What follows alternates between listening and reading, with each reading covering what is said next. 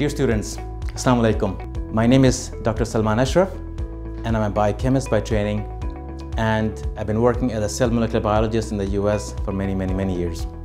Today I'm really excited to welcome you all and to share with you the exciting news about the launching of a new program by Khalifa University, the BSc in Cell and Molecular Biology. As you know, the College of Arts and Sciences at Khalifa University is actually a growing college and last year they decided that we will have a new Department of Biology which will house and offer this BSc in Cell Molecular Biology program. We're in the final stages of getting official approval from the Ministry of Education and we're planning on offering this program in January of next year, in spring 2021. So what is this BSc in Cell Molecular Biology degree all about? It's a four-year degree program that will teach students about the workings of cells, cells which are the basic building blocks of life, and we'll look at these workings from a molecular perspective, from the level of, the, the level of biomolecules, such as proteins and RNA and uh, DNA. These are really exciting times to be a student of cell and molecular biology and a student of life sciences.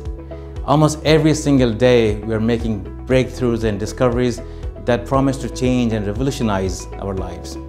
For example, we know how DNA works, we know how proteins work, we know now we have a much better understanding of how various diseases are caused. We, we have understanding of what causes cancer, diabetes, Alzheimer's, Parkinson's, and we're using our technology knowledge to address and find cures for these diseases. We have the power now to actually use microorganisms to make valuable therapeutics like insulin for diabetes or erythropoietin for cancer treatment. We have the ability now to make genetically modified crops and fruits that are drought resistant and pest resistant. And more recently, we have now the technology to be able to edit human genomes and to cure various genetic diseases like thalassemia, for example. And this last technology of, of editing human genome was given the Nobel Prize two weeks ago uh, based on uh, the work of two very famous female scientists and this is called the CRISPR technology. The BSc in Cell and Molecular Degree Program is a four-year degree program.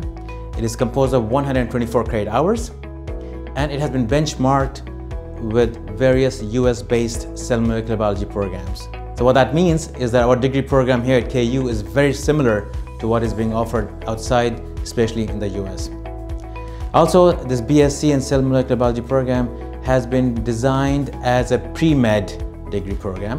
What that means is we've taken into account the suggested and required uh, elective courses that the medical school requires students to have, they have been included in this degree program. So students graduating from this degree program are ideally suited to go and study medicine uh, at the MD program at Khalifa University or elsewhere.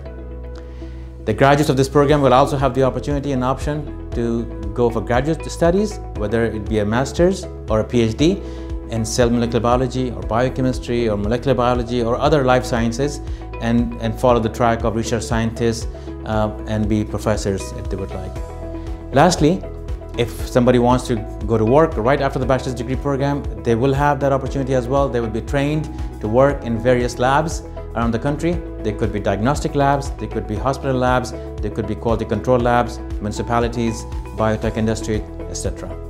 Again, we thank you for your interest in this degree program and I look forward to welcoming all of you uh, to uh, the new degree program in the next year. Thank you again, take care, stay safe.